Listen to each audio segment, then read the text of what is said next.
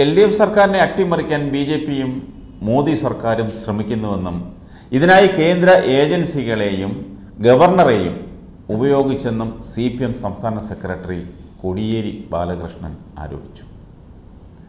Party മുഖപത്രത്തിൽ എഴുതിയ ലേഖനത്തിലാണ് കോടിയേരി ബാലകൃഷ്ണന്റെ ഈ വിമർശനം.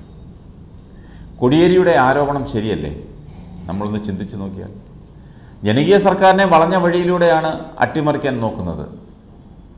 സർക്കാരിനെ പ്രതിസന്ധിയിലാക്കാനാണ് ബി ജെ പി കേന്ദ്ര ഏജൻസികളെ മുഴുവൻ കേരളത്തിലേക്ക് അയച്ചത്. ഗവർണർ ആരിഫ് മുഹമ്മദ് ഖാൻ മോദി ഭരണത്തിന്റെയും ബി ജെ പിയുടെയും ചട്ടുകമായി മാറിയില്ലേ? പദവിയെ തന്നെ കളങ്കം ചാർത്തുന്ന രീതിയിലാണ് അദ്ദേഹത്തിന്റെ ചില നടപടികൾ. ഗവർണറെ ഉപയോഗിച്ച് സർക്കാരിനെ പ്രതിസന്ധിയിലാക്കാൻ ശ്രമിക്കുന്നതിന്റെ ഭാഗമാണ് ഓർഡിനൻസിൽ ഒപ്പിടില്ല എന്ന ഗവർണറുടെ ശാഠ്യം.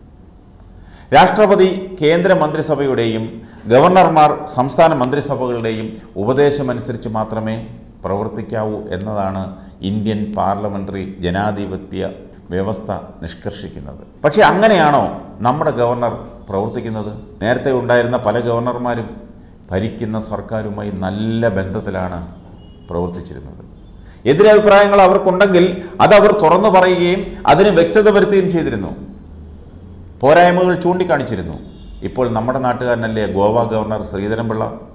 അദ്ദേഹം അവിടെ എന്തെങ്കിലും പ്രശ്നങ്ങൾ സൃഷ്ടിക്കുന്നതായി നമ്മൾ കേൾക്കുന്നുണ്ടോ? അവിടുത്തെ സർക്കാരുമായി ചേർന്നല്ലേ അദ്ദേഹം പോകുന്നത്? രാജ്യത്ത് വേറെ എങ്ങും ആർക്കുമില്ലാത്ത ശാഠ്യമാണ് നമ്മുടെ ഗവർണർക്ക്.